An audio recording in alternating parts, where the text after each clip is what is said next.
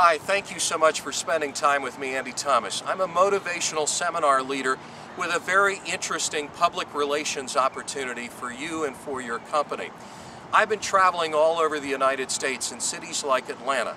I've been featured recently by CBS television in Atlanta, in Columbia, in Charleston. We're getting a lot of press right now as I am out with a seminar tour helping unemployed people in cities all across the country.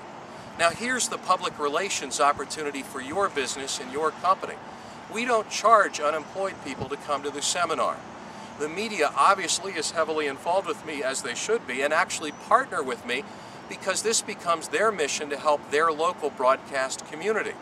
This can become your corporate mission to help your local community as well and think about what that will mean to positioning your company in a strong strategic advertising or light advertising sense.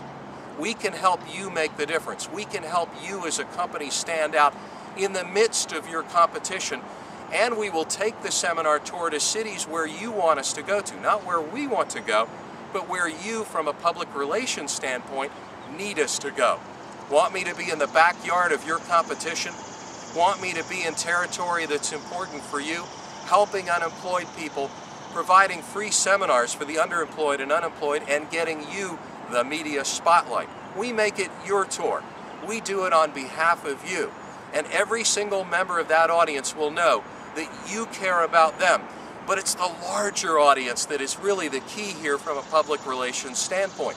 Not only do you help hundreds of people at the seminar, you get your mission, your corporate mission statement out to hundreds of thousands of people through our media coverage.